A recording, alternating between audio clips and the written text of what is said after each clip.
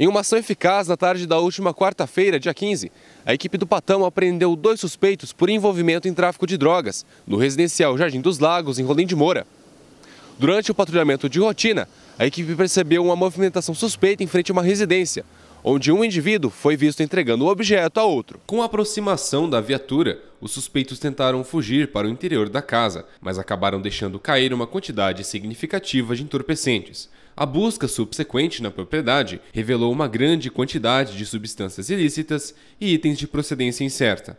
Os envolvidos foram presos em flagrante e encaminhados ao NISP, juntamente com o material apreendido, para as providências legais cabíveis. Um dos indivíduos assumiu ser o dono da droga encontrada, enquanto o outro alegou ser somente usuário, e não foi apreendido. A operação marca mais um importante passo no combate ao tráfico de drogas na região.